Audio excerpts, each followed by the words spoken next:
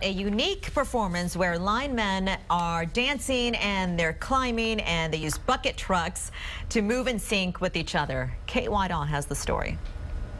You have a 16 count pause, and then you're going to say unbuckling first, and then you go to your first position. When you think of a dance, hard hats, boots, and utility poles may not come to mind, but for Allison Orr, it is the perfect combination. The idea of the dance is to really tell the story of the work that it takes to get power from the power plant to you, or to all of us. One, two. It's called Power Up. 38 guys from the Austin Energy Field crew and a few dozen administrative staff volunteered their time to be a part of it. Well, when they said the dance, I was like, I don't dance, but uh, I said, yeah, I give it a shot.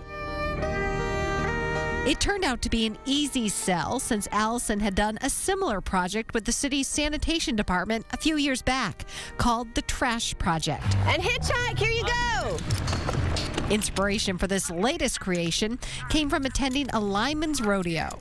Walked in, poles for miles, guys on top of poles climbing, and I thought, oh yeah, this'll work. this'll work.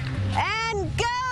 She recreated the scene out at the Travis County Expo Center and choreographed their moves to an original score. Even the bucket trucks get in on the action.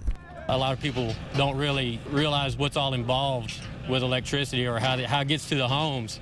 You know, you, you walk inside and you flip a switch and you get lights, but there's a lot more involved to, to get into that point. Shoulder to shoulder, a long line. And by the time the crews take their bow, you may just walk away learning a thing or two about electricity. It's a lot of skills and traits in what we do, and that's what I want people to get out of that. It's what we do.